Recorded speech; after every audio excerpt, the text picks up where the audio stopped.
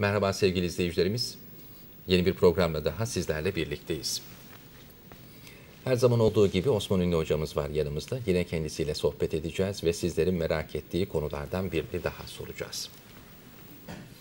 Hocam şimdi ilim öğrenmek, ilim sahibi olmak tartışmasız bir şekilde tabii e, güzel bir şey. E, tavsiye edilen bir şey. Dinimizin emir ve yasaklarını öğrenmek de yine aynı şekilde. E, ancak şimdi ilim sonsuz. Yani neyi öğreneceğiz? E, ömür de kısa. Şöyle bir soru geliyor otomatik olarak. Önceliği hangilerine verelim? Yani öncelikle ne gibi ilimleri ya da ne gibi bilgileri öğrenelim ki hani diğerlerine sıra gelirse artık onları da öğreniriz.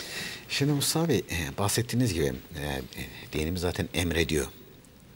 E, hatta bir hadis-i şerif var. Nerede ilim var orada İslamiyetler ve nerede, cahillik var orada küfür vardır, inkar vardır diye. Dinimizin emri yani. Dinimizin ilim emri. öğrenmek. İşte hadis-i şerifte beşten mezara kadar ilim öğrenmesi, erkek olsun kadın olsun Müslümanların ilim öğrenmesi farzdır. Bir saat ilim öğrenmek veya öğretmek sabaha kadar ibadet etmekten daha sevaptır. Hatta bir hadis-i şerifte de ya alim yani bilen ya müteallim öğreten veya talebe öğrenci ol. Yahut da bunları dinleyici ol buyuruyor hadis-i şerifte. Bu üçünden olmayıp dördüncüsünden olursan yani hiçbirinden olmazsan helak olursun. Ayet-i kerimede var. Bilenle bilmeyen bir ulu ve halinde. Evet.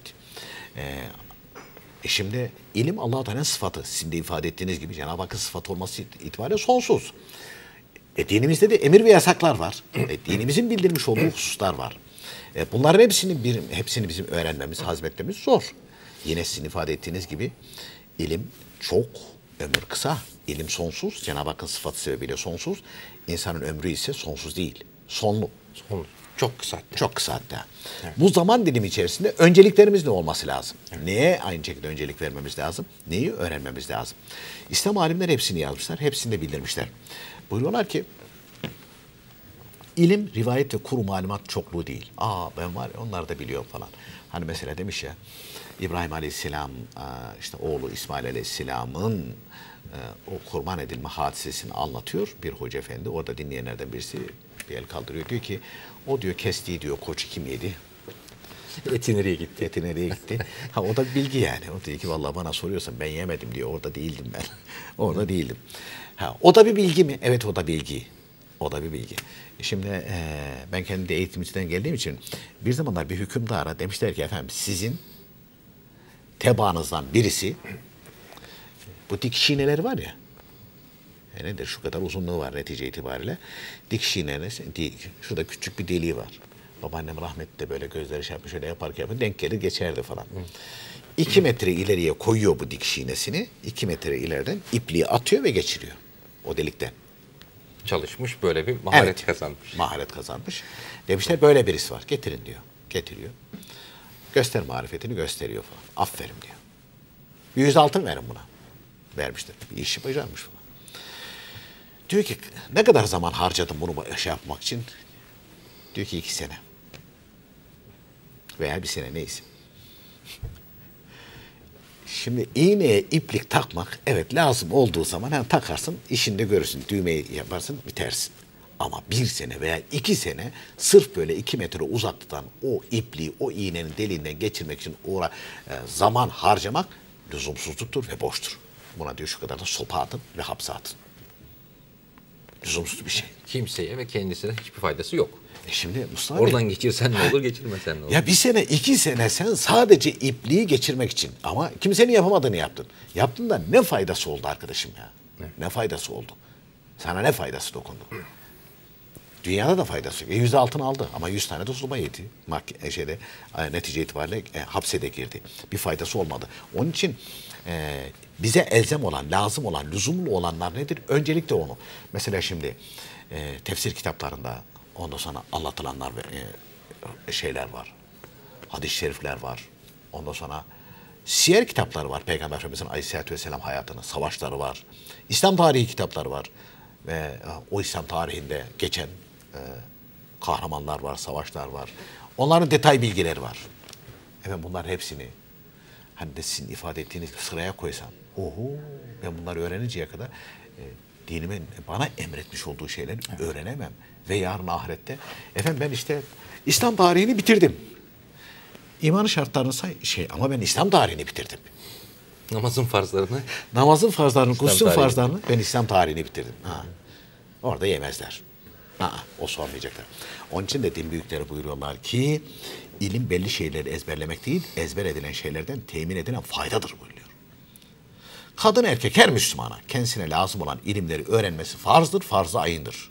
Farzları, haramları öğrenmek farz. Vacipleri öğrenmek vacip, sünnetleri öğrenmek sünnettir. Her Müslümanın bunları öğrenmesi ve bunlara göre amel etmesi lazım. Ha sıralamayız. Önce iman. İman olmayınca, iman olmayan namaz kılsa bir faydası olmaz ki. Önce iman edecek.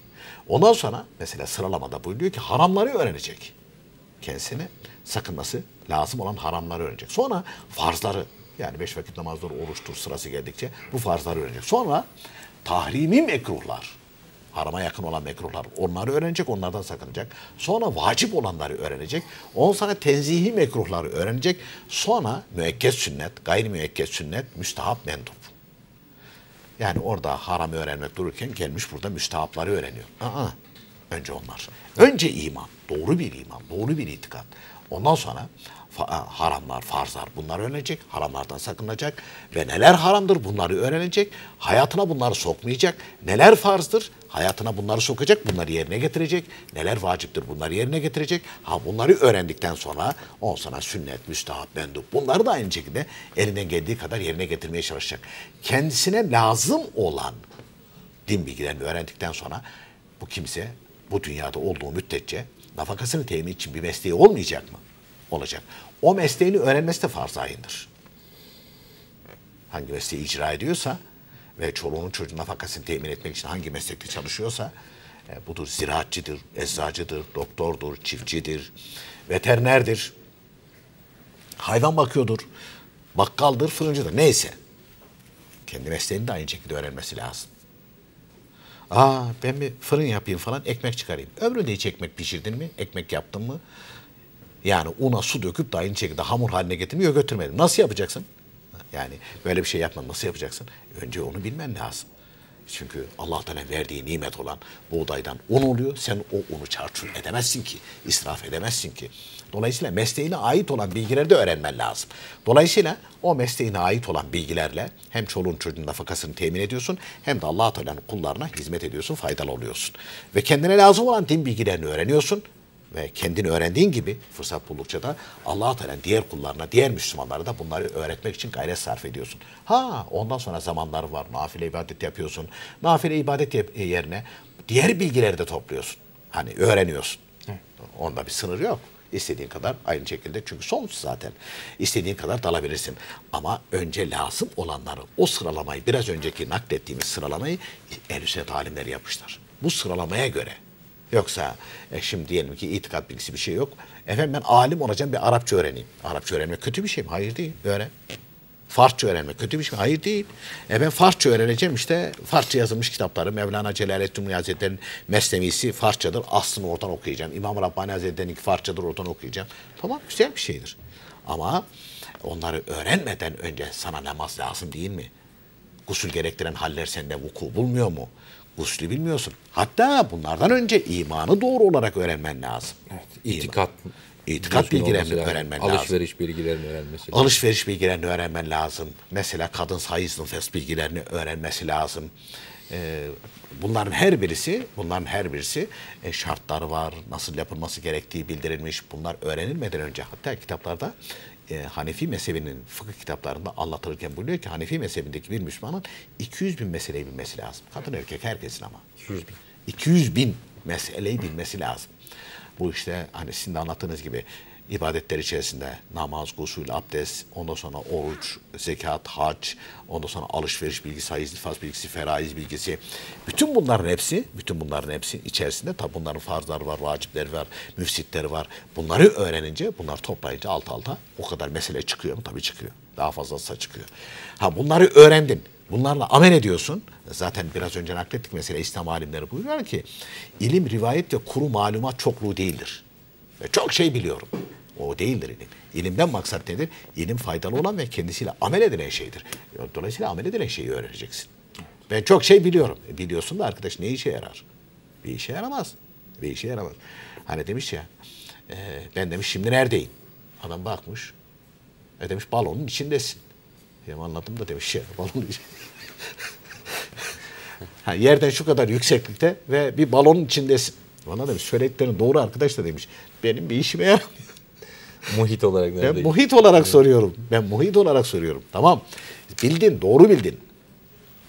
Bir bakışta ölçtün. İşte 2000 e, 1000 metre yukarıda, 1500 metre yukarıda bir balonun içerisinde. Doğru söyledin. Ama ben demiş onu sormuyorum ki. Onun için de e, insanın ömrü e, kısa, öğrenilecek şeyler ise çok. Dolayısıyla Müslüman öncelik itibariyle ön- öncelik itibariyle e, kendisi için lazım olan farzı ayın olan dinin hükümlerini öğrenmesi ve kendi mesleğine ait olan hükümleri öğrenmesi ondan sonra zaman kalırsa diğerlerini öğrenmesinin mahsur söz konusu değil. Peki efendim. Çok teşekkür ediyoruz. Sevgili izleyicilerimiz bugün de Osman Ünlü hocamızdan önemli bilgiler öğrendik. Yarın yine bu dakikalarda sizlerle birlikte olacağız. Şimdilik hoşçakalınız.